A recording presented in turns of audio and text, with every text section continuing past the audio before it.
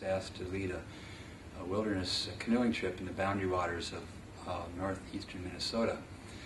And uh, that really sparked my interest in, in backpacking, canoeing, rock climbing, that sort of thing. So that was sort of an avocational uh, interest. And then in uh, beginning my doctoral studies in the late 80s at the University of Chicago, I took a, a course from uh, a gentleman whose research interests were in uh, ecological theology and ethics, and that really spurred my interest in terms of my own uh, scholarly research and writing. In fact, I changed my whole uh, probable doctoral dissertation topic from one thing to um, environmental theology, which I eventually uh, wrote a doctoral dissertation in that area, and that was my first book called The Greening of Theology.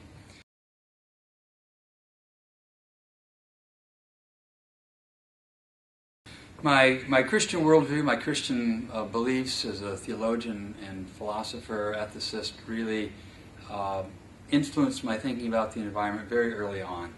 Uh, the course that I took at the University of Chicago, I was a doctoral student in the divinity school, so studying religion generally and Christian theology and ethics more particularly um, really whetted my appetite to learn more. So I began a couple year research program with my doctoral research and explored, read very widely in the history of Christianity, in Christian ethics, Christian theology, uh, particularly looking for people and themes that uh, connected with uh, environmental issues of one way or another. I also read environmental history, environmental philosophy, so I was coming at it from that point of view.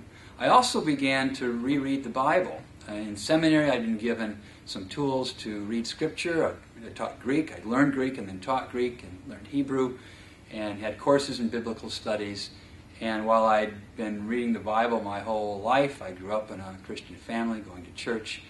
Um, I never really paid much attention to much of what's in the scriptures. The Bible begins, for example, with rivers and trees. It also ends with rivers and trees. And there's a lot in scripture uh, that pertains to um, earth keeping, uh, caring for creation, stewardship.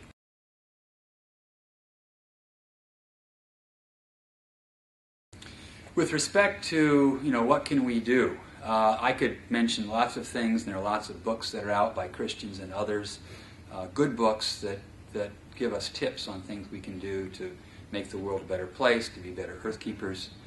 Um, the key issue there, though, I think, is not so much the specific um, issues that we need to address and the specific things we ought to do, but what is a common feeling among many people, not just college students, namely that the problems of the world, especially the environmental problems, seem both so intractable and so large that what can one person do? What can little old me do in the face of, say, global climate change or uh, uh, species extinction, loss of biodiversity, and so on and so forth? So I think there's much that could be said about that, but one thing in particular is um, to remember the power of one and not to be what ethicists call uh, a consequentialist.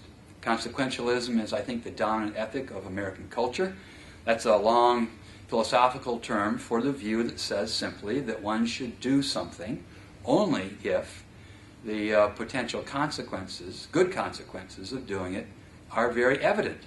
One should pick up that piece of litter or you know, engage in whatever action you think is moral or ethical, if and only if there is a great likelihood that there'll be um, large uh, positive consequences.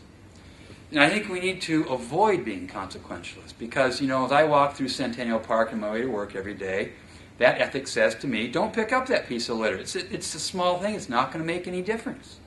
Don't do those little things that, that often add up. If Rosa Parks had been a consequentialist, she would have gone to the back of the bus because she would have said, What can little old me do? Right? What's one person one thing, it'll make no difference. So why vote? Why do the little things that will make the world a better place? The, uh, the ethic over against that is simply to, following Spike Lee, the African American filmmaker, an old film, uh, do the right thing. Jesus wasn't a consequentialist. King wasn't a consequentialist. Simply do the right thing because it's the right thing to do. And, you know, you never know what good consequences might come. Leave those to God. Do the right thing, and remember the African proverb. I have it on my office door where I teach. Many little people in many little places doing many little things just might change the world.